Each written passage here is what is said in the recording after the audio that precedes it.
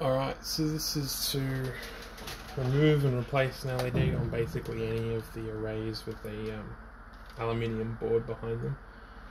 I usually set my heat gun almost all the way up, not quite, and then hold it oh, about 2-3 centimeters away underneath the LED.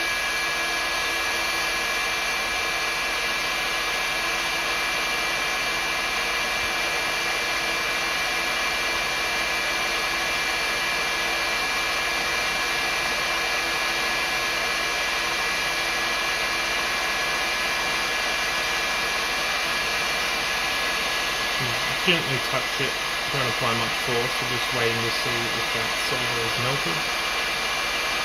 So if you go too hot, you'll bubble the green um, layer off the aluminium. And it's really, alright, that's quite enough LED off.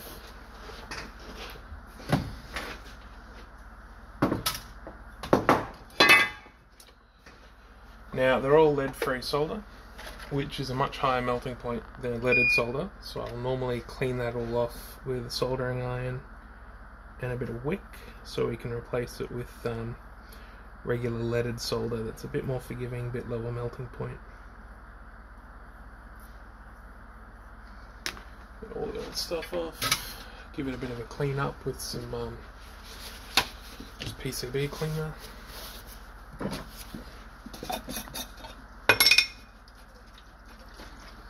careful as it will still be very hot.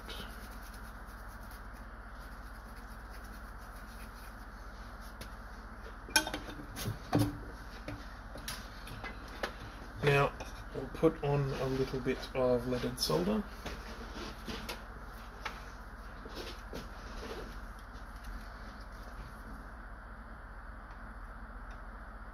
Don't want to go crazy with it because then just spill out the edges and make shorts.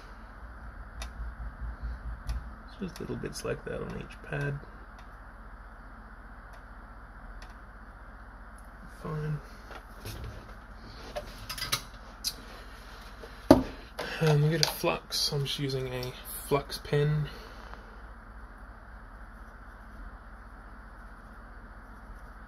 More flux always more good.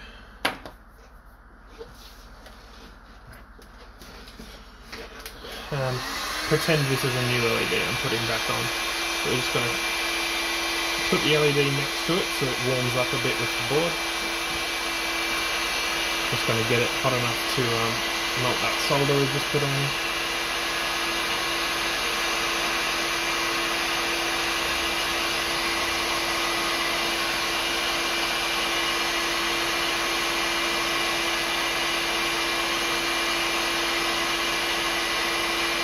See there that's melted, so pop the LED on.